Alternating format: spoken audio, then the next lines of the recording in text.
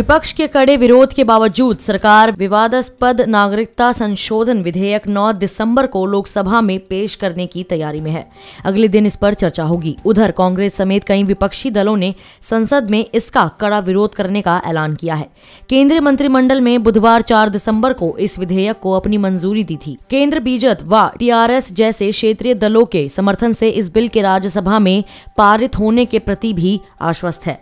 इन पार्टियों ने अतीत में सत्तारूढ़ दल का संसद में साथ दिया है। हालाँकि कांग्रेस और तृणमूल जैसे दलों ने बिल का विरोध करते हुए दावा किया, नागरिकता धर्म के आधार पर नहीं दी जा सकती।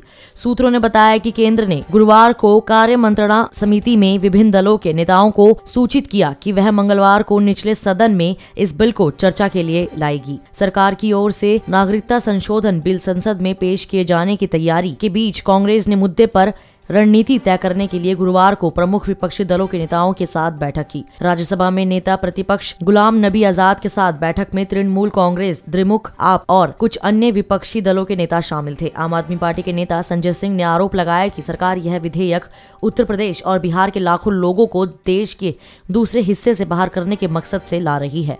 बिल को भेदभाव करार देने वाले कांग्रेस ने स्पष्ट कर दिया कि वह संसद में इसका विरोध करेगी। कांग्रेस के पूर्व अध्यक्ष राहुल गांधी ने कहा कि उनकी पार्टी नागरिकता संशोधन बिल का विरोध करेगी। उन्होंने कहा कि कोई भी व्यक्ति किसी भारतीय के खिलाफ भेदभाव करे तो हम उसके खिलाफ है। यह हमारा रुख है। बसपा प्रमुख मायावती ने इस विधेयक को विभाजनकारी करार दिया। उन्होंने कहा कि केंद्र सरकार द्वारा काफ़ी जल्दबाजी में लाया गया नागरिकता संशोधन विधेयक पूरी तरह विभाजनकारी और असंवैधानिक है। धर्म के आधार पर नागरिकता देना तथा इस आधार पर नागरिकों में भेदभाव पैदा करना डॉक्टर भीमराव अंबेडकर के मानवतावादी एवं धर्मनिरपेक्ष संविधान की मंशा और बुनियादी ढांचे के बिल्कुल खिलाफ उठाया गया कदम है। लंबे समय तक भाजपा की सहयोगी पार्टी रही शिवसेना अब विपक्षी खेमे में है। विधेयक पर शिवसेना के रुख पर भी नज़र टिकी होगी, क्योंकि यह इस विधेयक की पुरजोर समर्थक रही है। लेकिन अब उसने कांग्रेस और एनसीपी से हाथ मिला लिया है। भाकपा ने कहा कि धार्मिक आधार पर नागरिकता देने से जुड़े इस विधेयक को सरकार संसद के मौजूदा सत्र में पेश करना चाहती है। यह सही नहीं है। नागरिकता कानून में प्रस्तावित बदलाव संविधान निर्माताओं द्वारा प्रदत्त भारतीय नागरिकता के धर्मनिरपेक्ष स्वरूप को पूरी तरह से बदलकर भाजपा आरएसएस द्वारा तैयार किए गए बहुसंख्यावादी डिज़ाइन में तब्दील कर देगा।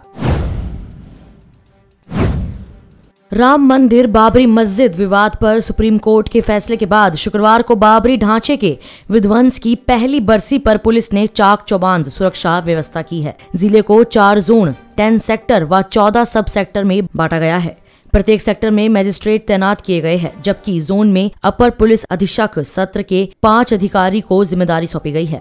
सेक्टर में 10 डीएसपी, स्तर के अधिकारी और सब सेक्टर में 15 इंस्पेक्टर ड्यूटी पर तैनात रहेंगे। अयोध्या के श्री राम जन्मभूमि बाबरी मस्जिद विवाद को लेकर छह दिसंबर को हिंदू व मुस्लिम संगठनों की ओर से श्रेय व काला दिवस मनाया जाता रहा है।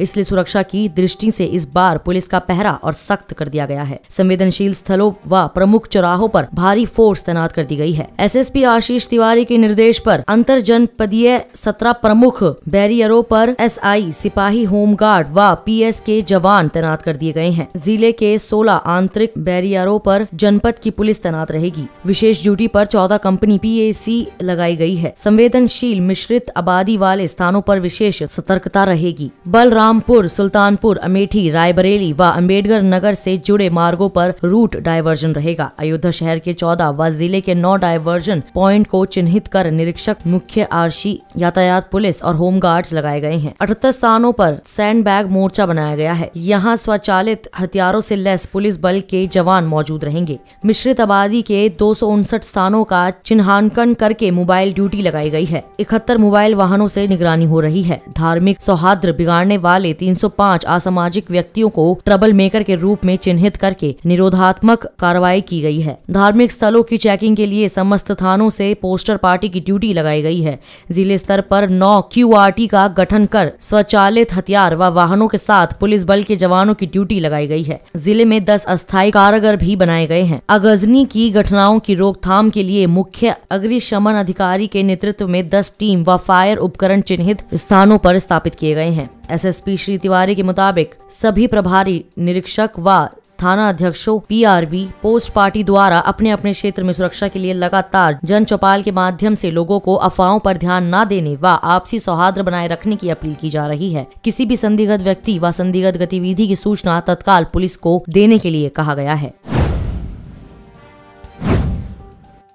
गुरुवार को उन्नव में हैदराबाद जैसी हैवानियत की घटना सामने आई। एक साल पहले गैंगरेप का शिकार हुई युवती को गुरुवार तड़के आरोपियों ने चाकू मारकर घायल किया। फिर उस पर तेल छिड़क कर ज़िंदा चलाने की कोशिश की। आग लगने के बाद पीड़िता का हाल जिसने भी देखा, दहल उठा। घटना स्थल से बचाओ बचाओ की आवाज़ के साथ जलती हुई वह मदद मांग कर थाने की ओर भाग रही थी। घटना स्थल से करीब एक किलोमीटर दूर रोड किनारे स्थित घर के पास पहुँची। यहाँ एक दुकान के पास गिर पड़ी। यहाँ घर से बाहर बाहर निकले शिवकरण व अन्य महिलाओं ने देखा तो सहम गए। उन्होंने बताया कि पीड़िता के कपड़े जले थे और शरीर से धुआँ निकल रहा था। पीड़िता ने ग्रामीणों से पुलिस बुलाने को कहा। ग्रामीणों ने 112 डायल कर पुलिस को सूचना दी। पुलिस उसे अस्पताल ले गई। एंबुलेंस चालक ने बताया कि गुरुवार सुबह पाँच दो पर घटना की जानकारी मिली थी।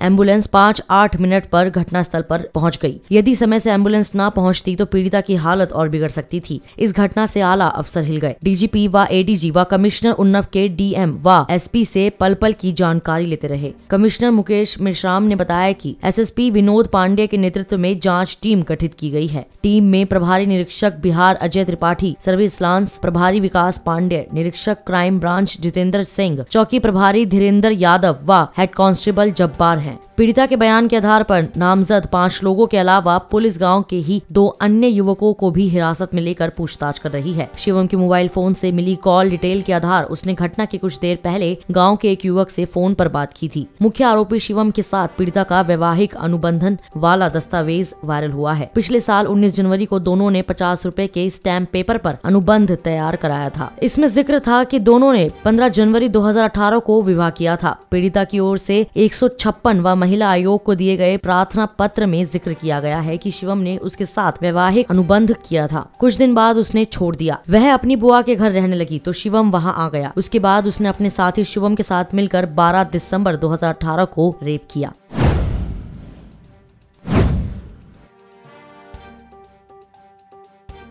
वर्ष 2008 में हुए मुंबई हमले में अपने माता पिता को खो चुके इजरायली बालक मोशे होल्सबर्ग, प्रधानमंत्री नरेंद्र मोदी का संदेश पाकर भावुक हो उठा। पत्र में मोदी ने किशोर की कहानी को चमत्कार के समान बताया, जो लगातार हर किसी को प्रेरणा देती है। प्रधानमंत्री ने यह पत्र मोशे के बार मित्जवाह समारोह पर भेजा है, जो रविवार एक दिसंबर को आयोजित हुआ। मोदी ने मोशे को भेजे पत्र में लिखा, यह एक महत्वपूर्ण बदलाव का क्षण है और अपनी जीवन यात्रा में एक अहम पड़ाव है। सैंड्रा का साहस और भारत के लोगों की दुआएँ आपको लंबी उम्र, स्वास्थ्य एवं सफल जीवन का आशीर्वाद देती रहेगी। आपकी कहानी हर किसी को प्रेरित करती रहेगी। यह एक चमत्कार है और उम्मीद करता हूँ कि इस त्रासदी से हुई अपूर्णीय क्षति से आप उभरेंगे। यहूदी बच्चों के तेरह साल की उम्र का होने पर बारह मितजवा आयोजित किया जाता है। कुछ यहूदी विद्वान इसकी तुलना हिंदुओं में होने वाले उपनयन से करते हैं। ग्रेगोरियन कैलेंडर के अनुसार 28 नवंबर को मोशे तेरह साल का हो गया। मोशे के दादा रबी शिमान रोजेनबर्ग ने पीटीआई से कहा कि मोदी के पत्र ने मोशे के दिल को छू लिया। भारत जैसे बड़े देश के नेता अगर इस तरह का भावपूर्ण पत्र भेजते हैं तो यह मोशे को बहुत मजबूती देने वाला है। कार्यक्रम में भारतीय राजदूत को अपनी पूरी टीम के साथ देख वह बहुत खुश हुआ। भारत के इतिहास में सबसे भीषण आतंकवादी हमलों में शुमार 26 नवंबर 2008 के मुंबई हमले में एक सौ छियासठ लोग मारे गए थे और 300 से अधिक लोग घायल हुए थे। आतंकवादियों ने निर्मन हाउस को भी निशाना बनाया था, जहाँ मोशे के माता पिता रब्बी गैब्रियल और रिवाका हॉल्सबर्ग समेत छह यहूदी मारे गए थे। मुंबई हमले के दौरान अपने मित्र माता पिता के शव के पास खड़े होकर रोते बिलखते मोशे को उसकी नैनी सैंड्रा सेम्यूल्स ने बचाया था। नन्हे मोशे को अपने सीने से चिपकाए सैंड्रा की इस तस्वीर ने दुनिया भर में लाखों लोगों के दिल को छुआ था।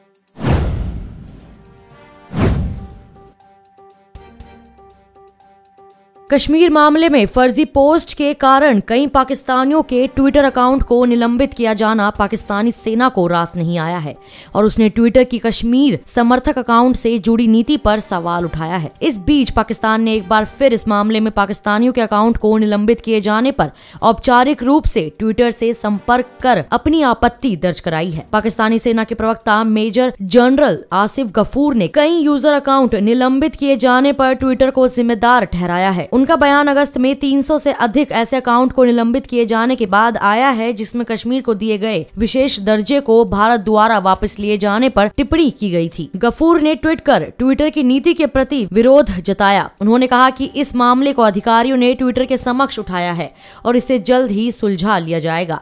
उन्होंने अपने ट्वीट में लिखा, पाकिस्तानी यूज़र ट्विटर पर समस्याओं का सामना कर रहे हैं। अधिकांश कश्मीर को समर्थन देने के कारण किसी न किसी बहाने उनका अकाउंट निलंबित किया जा रहा है। इस मामले को अधिकारियों ने उठाया है और इसे जल्द ही सुलझा लिया जाएगा। जिम्मेदार यूज़र की तरह सजग रहें और जो इसमें शामिल है, उन्हें शिकस्त दें। इस बीच पाकिस्तान टेलीकम्युनिकेशन अथॉरिटी के प्रवक्ता खुर्रेम मेहरान ने द न्यूज़ को बताया कि उन्हें अकाउंट निलंबित किए जाने की तीन सौ छियानवे शिकायतें मिली है, जिसे ट्विटर के समक्ष उठाया गया है। उन्होंने कहा कि ट्विटर ने इनमें से केवल छियासठ अकाउंट को बहाल किया है। 330 अभी भी निलंबित है। अथॉरिटी ने अमेरिकी माइक्रो बैलिंगिंग साइट की इस कार्रवाई को अभिव्यक्ति की स्वतंत्रता के सिद्धांतों के खिलाफ बताया है। इस वीडियो में इतना ही। मैं कोमल पंजाब केसरी दिल्ली से। अगर आपको हमारी ये खबर जानकारी पूर्ण लगे तो हमारे Facebook page Punjab Kesari dot com को लाइक करें। और अगर आप हमारी ये वीडियो यूट्यूब पर देख रहे हैं तो हमारे channel Punjab Kesari dot com को सब्सक्राइब करना ना भूलें।